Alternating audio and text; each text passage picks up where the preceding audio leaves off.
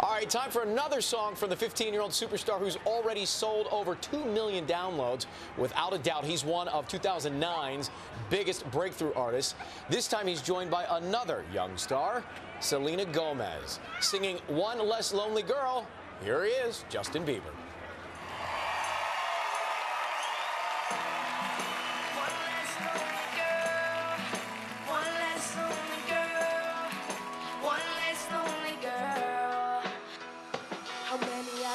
Just the star.